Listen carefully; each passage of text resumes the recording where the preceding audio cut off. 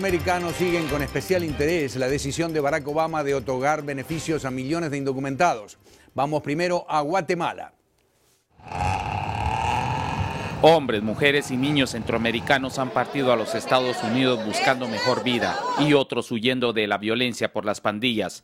Por esa razón, el anuncio de que el presidente Barack Obama dará un alivio migratorio a los indocumentados fue bienvenido entre los guatemaltecos que sufren la agonía de sus familiares en ese lejano país. Dentro de este alivio a los indocumentados podría anunciarse el freno a las deportaciones y el otorgar permisos de trabajo.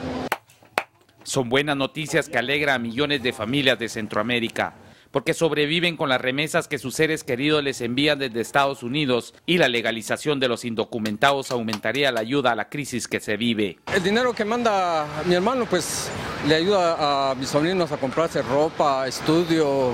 Todos los guatemaltecos esperan con alegría que este anuncio se convierta en realidad y que muchos de los que han salido del país regresen a visitar su patria sin temor.